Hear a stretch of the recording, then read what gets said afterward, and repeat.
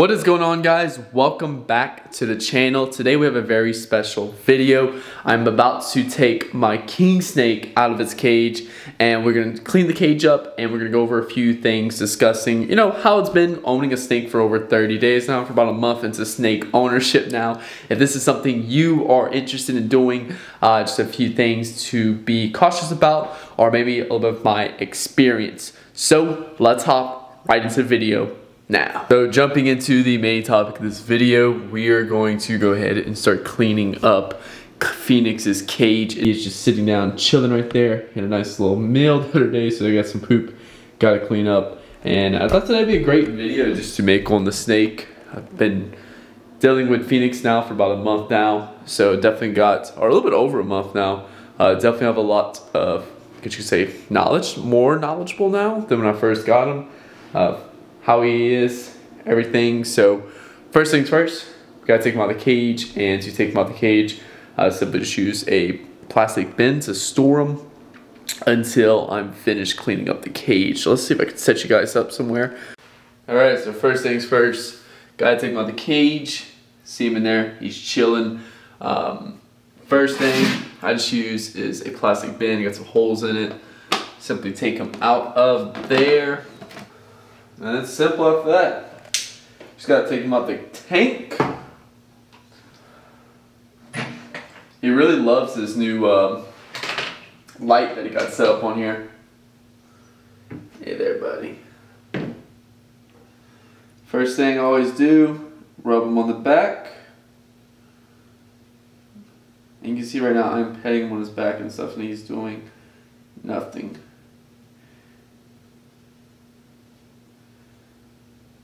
Alright, we gotta pick him up. There we go. Oh, he is nice and warm. Very nice and warm. I've never felt him this warm and he loves it. He was definitely taking a nice little nap when I got him up um, on his little basking spot. He really loves that light a lot. He's getting a little pale. I wonder if he's about to shed again. Be insane if he does. Since I've had him now for about a month, He's definitely grown. Um, been feeding him more than what he's used to being fed.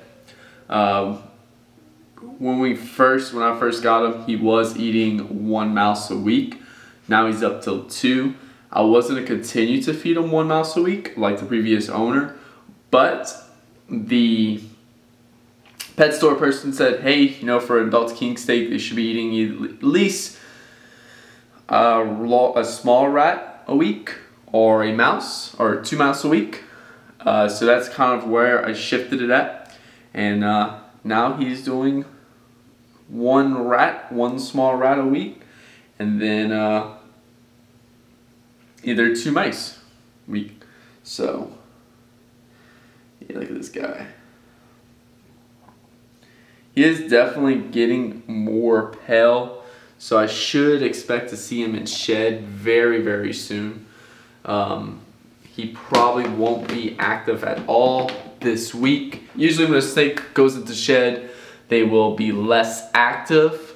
Then they'll just start hiding for a few days because when a snake goes in shed, their visibility is low, so they hide to get away and be protected.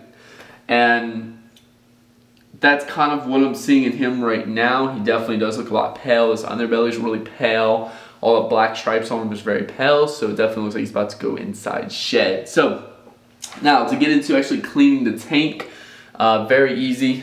Let me reset up the camera and uh, we'll jump and show you guys how to do this. First off, what you're gonna do is you're gonna take your pet, your little reptile, uh, just put them in a safe place. You don't wanna step on them on accident or anything like that. Take care of them. And then now it's time to clean the tank. So usually what I do to clean the tank is I will just spot scoop. So whatever little spots I see that needs to be cleaned up, just simply scoop it up. Um, paper towels right here because you definitely want to pick this stuff up with your hand completely. And then uh, I have to go throw this away anyway in a few minutes. So I just got a Rice Krispie treat box. Um, maybe I'll leave a few for Phoenix. So just remove any items might be in the way from cleaning. Simple as that. Find your copper and then uh, scoop it up.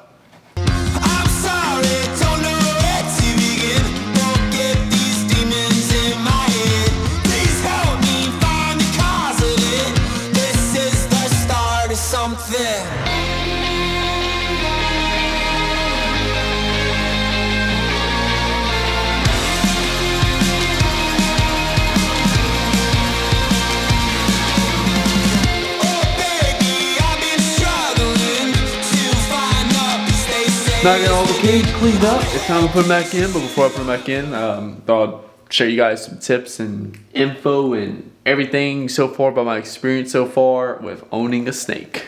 Alright, so now we have Phoenix out the cage. I wanted to talk a little bit about Phoenix. Uh, Phoenix, if you didn't know, he is a California king snake. This is a non-venomous snake. Um, obviously, if he would bite you, where are you going, dude?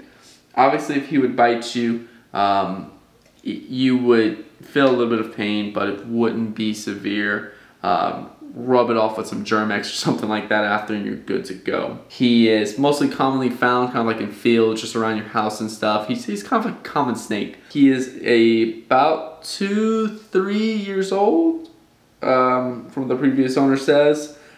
King snakes are definitely a lot more active compared to other snakes. Uh, this is about as big as he's gonna get. He's gonna add a little bit of lymph and stuff to him, but he's definitely not super, gonna be like super thick like uh, some of these anacondas and stuff or uh, pythons. His main diet uh, consists of, you know, like mice, geckos and stuff, um, little, little like household or things around the house like that. And you can just see, you guys can see on the activity level, I thought this would be a lot easier filming him and just holding him like this, but he's being very active today. I feed him once a week in terms of you know food. I feed them one small rat a week. Lately, they didn't have any small rats, so I had to feed them two small mice a week. And uh, yeah, that's that's purely how it is. It's cool to have a chill pet. It does. It's very very low maintenance. I mean, I feed him once a week. I clean his cage up once a week. Add water once a week. Uh, total maintenance, I mean, is very very low every now and then I'll go ahead and I'll um, add some more substrate substrate to his cage and clean out the old substrate that happens about once a month and uh, maybe a little bit more maybe about every five to six weeks and overall it's a really cool pet to own I like to use the terminology of like it's kind of like owning a fish you know um, you don't really play with them, you don't really cuddle with them and stuff. Snakes can't really love you or catch feelings for you, like say a dog or stuff. They're not like super loyal. Um, they're a really cool pet though to have.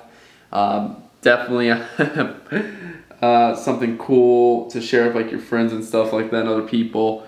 Um, really cool. So far, experience of owning one, no problems at all. I definitely enjoy it a lot. Interesting fact, snake body language. Uh, that's I think learning snake body language is a big key, and that made me feel more confident with handling my reptile. Uh, snake body language, first off, um, if they are just roaming around like this, they got their tongue flickering and stuff, that means they're a curious snake. That means they're not trying to strike you or anything like that. They're not trying to do anything to you. Uh, they are purely just trying to chill. Um, and that's pretty much what he is doing right now at this moment. Uh, they tense up and stuff, and they they're not flickering their tongue, but they're not really you know moving their body much. Uh, you know maybe just kind of feel tense. Uh, it just means they're stressed, and then after stressed, they will generally, if they don't want to be messed with, they will let off a kind of like a musk or like a they'll musk, which is just like a stinky smell, and also to the same time they'll let off a hiss.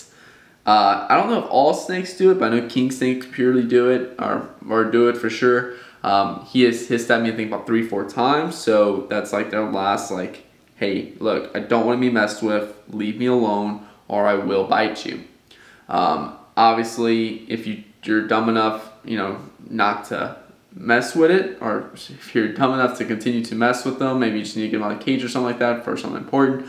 Um, he'll usually kind of form an S shape with his head, and that's when he'll pull his tongue back in. He'll put his head down like that, and that's when he's ready to strike. So that's something you need to, that's something you can learn about snake body language and stuff. Uh, if you understand snake body language and understand it, you can feel more confident when handling him like this. Like this whole time, he's just been chilling.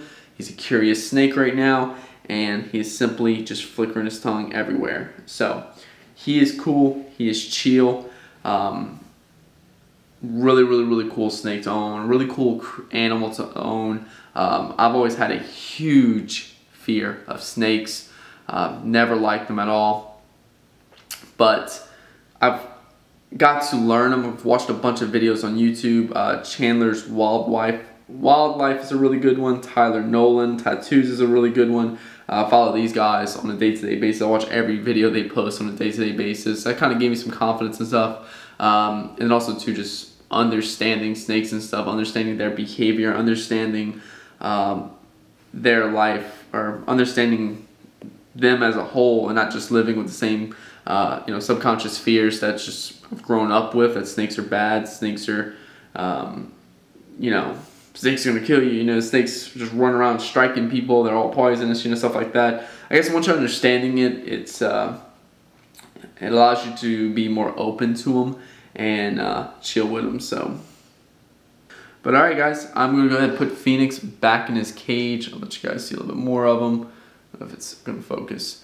Um, he is definitely about to go in shed. When he does go inside of shed, uh, I won't see him for a few days. So I definitely glad that I was able to make this video. And uh, we're gonna go ahead and put Phoenix back in his cage and we'll see everything um, I guess you could say it's a new little cage. So. So a few more things about the cage itself. All that is is a like fish tank type enclosure. That's super simple to get. Um, get these up for like this one. I think was a custom built one, but otherwise it's nothing super fancy. So make sure you have some really good locks on it so your reptile doesn't escape. Uh, in terms of the actual cage setup itself, all this is some like mulch, uh, specifically made. It's mulch I guess it's just overpriced mulch at the pet store. I don't know if they really do anything else, anything else different, but it's more for pets. And then yeah, you get your water bowl. There's a heating pad below. If you can see it. Heating pad below, so you want a cool spot, warm spot in the cage. And then I just recently added this because the temperature was way down in the 70s consistently. And for a snake, you want about 75 to 90. For a king snake, Every snake's different. Some need more, some need less. So that's it. That's the setup. He chills around the cage and stuff. Uh, really cool, like I said, really cool animal to own. And uh, yeah, that's pretty much my experience. Pretty much my experience now with them and owning them for over a month now. And um, yeah, really cool. Really enjoy it. And I uh, hope you guys enjoyed this little video. I know it's kind of put together last minute. And uh, Thank you guys so much for watching. If you enjoyed this video, make sure you hit that like button. Uh, if you're new to the channel, make sure you hit that subscribe button. I make lifestyle vlogs and stuff every now and then a snake video, um, business and marketing related content. thank y'all for watching. See you guys later. Peace.